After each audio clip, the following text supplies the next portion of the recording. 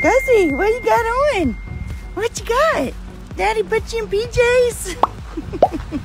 Gus Gus. He's like, what is this? Look how cute you are. Say good morning. Say good morning. So we came up to the Quint School for this like night before Christmas event.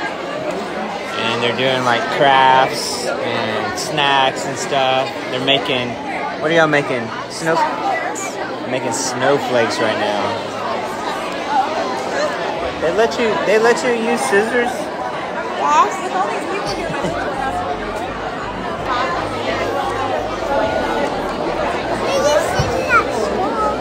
How oh, you do?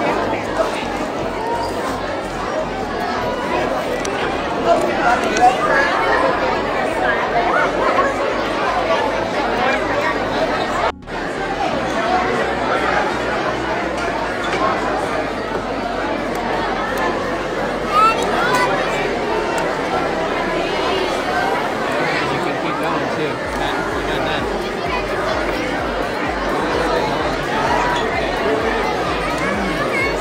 glue it.